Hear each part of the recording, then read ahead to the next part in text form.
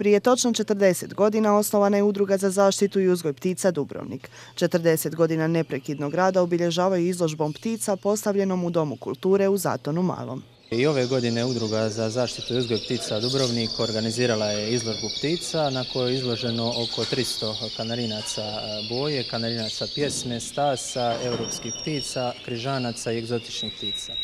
E, izlagalo je ukupno 19 izlagača iz e, Dubrovačke udruge, a ove godine slavimo 40. obljetnicu uspješnog rada i djelovanja. Dakle, 1979. godine osnovana je udruga i ove godine obilježavamo na prigodan način i tu 40. obljetnicu. Greguš se uzgojem ptica bavi od svoje 12. godine te isiče, to je obiteljska tradicija. Ljubav prema cvrkutu i šarenilu perija prenijeli su mu djed i pradjed.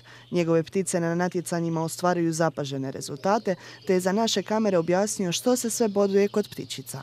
Gleda se boja kanarinca i drugih ptica, također perje koje mora biti složeno, priljubljeno uz tijelo, držanje, dužina i oblik i opći dojam, odnosno sama priprema ptice za izložbu. Aktivan član udruge još od njenih začetaka je gospa Rivica Stjepović. Na izložbi je predstavio brojne ptičice o kojima brine s ljubavlju, a čije boje plijene poglede. A ovo su ptice lipokrom, e, crveni bile krila i jako teška za uzgoj.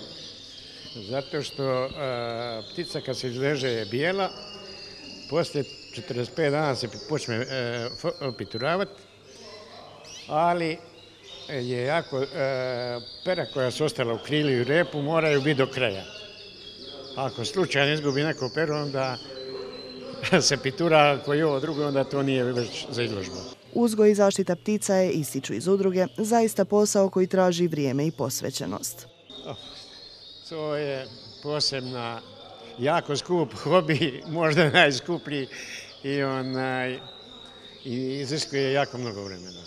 To je svakodnevno hranjenje, još kad je parenje, onda je to treba izgubiti po 4-5 sati sigurno dnevno.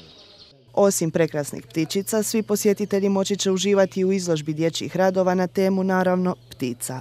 A ja osobno sam, u mene je to u obitelji neka, reći, tradicija, ta ljubav prema pticama, tako je i moj pokojni nono i pranono su se bavili time, tako da je to u nas tako tradicionalno. Ja sam počeo s nekih 12 godina pomalo držati e, ptice i evo sad već neki malo ozbiljniji uzgoj.